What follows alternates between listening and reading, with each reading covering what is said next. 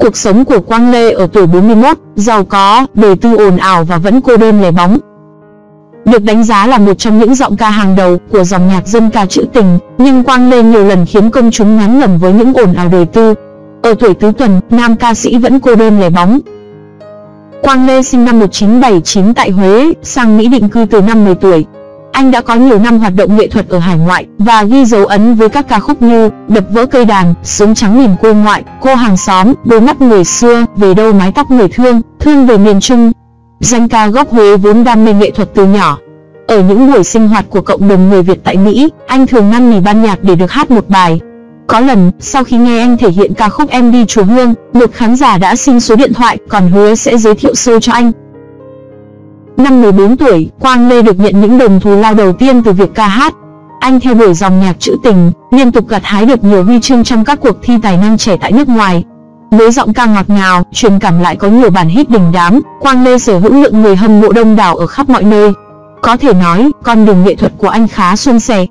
Nổi tiếng cả ở trong và ngoài nước nên nam ca sĩ rất đắt sâu ca hát. Bản thân Quang Lê từng tiết lộ, thù lao mà anh nhận được sau một đêm diễn ở hải ngoại là khoảng 6.000 USD, khoảng hơn 130 triệu đồng. Bên cạnh đó danh ca sinh năm 1979 còn nhận được nhiều lời mời làm giám khảo các chương trình truyền hình với mức cát xê cao ngất ngưỡng. Chính vì vậy anh có trong tay khối tài sản mà nhiều người ao ước, với biệt thự tiền tỷ, xế hộp hạng sang, đồ dùng hàng hiệu, nhẫn kim cương. Ngoài biệt thự sân vườn ở Mỹ, Quang Lê còn sở hữu nhiều bất động sản tại Việt Nam, trong đó, căn biệt thự được trang hoàng như một cung điện tại quận Tân Bình thành phố Hồ Chí Minh được chú ý hơn cả. Đây là nơi anh nghỉ ngơi khi về hoạt động nghệ thuật trong nước.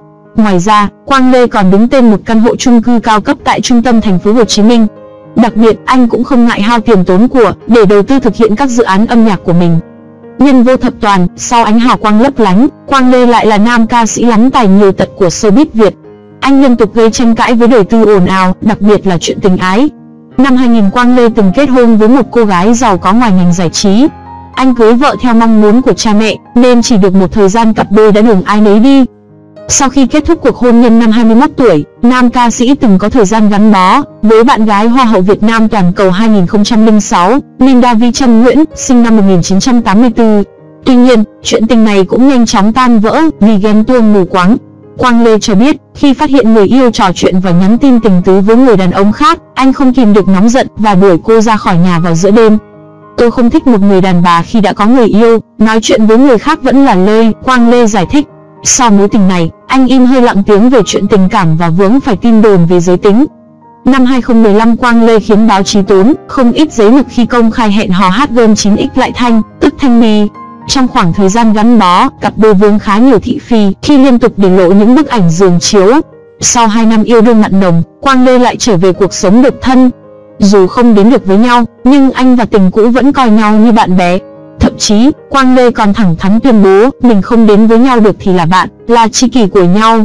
Tôi đi ra Hà Nội vẫn có thể đi ăn với Thanh Bi, thậm chí không phải là bồ vẫn có thể ngủ chung. Chuyện rất bình thường, Bên cạnh hai mối tình gây ồn ào dư luận, Quang Lê từng chia sẻ, người khiến anh ấn tượng nhất chính là nữ ca sĩ hải ngoại Mai Thiên Vân. Cô chính là người tình trên sân khấu của anh. Sau này, mỗi khi nhắc đến nữ ca sĩ gốc Bến Tre, Quang Lê vẫn dành cho cô sự tôn trọng và tiếc nuối. Cuối năm 2019, dân tình lại xôn xao trước loạt ảnh, Quang Lê ôm hôn thân mật với hát gươm kém 13 tuổi Ivy, từng được biết đến là vợ cũ Hồ Quang Hiếu. Trước nghi vấn tình cảm, anh chỉ nói ngắn gọn, tôi chỉ chụp cho vui, chụp chơi chứ không có gì. Về phía Ivy, người đẹp không phủ nhận, chỉ trả lời rằng chưa dám nói trước điều gì, cứ để mọi thứ tự nhiên. Mới đây nhất, giọng ca đập vỡ cây đàn gây tranh cãi, khi nhiều lần hướng mắt nhìn vòng một của hát gươm thị phi, nhân 98, đi kèm với những phát ngôn phản cảm trên sóng livestream. Trước đó, hai người từng có bức ảnh chụp chung khiến nhiều người đỏ mặt. Trong ảnh, nhân 98 choàng tay qua cổ, thậm chí áp sát vòng một vào người đàn anh.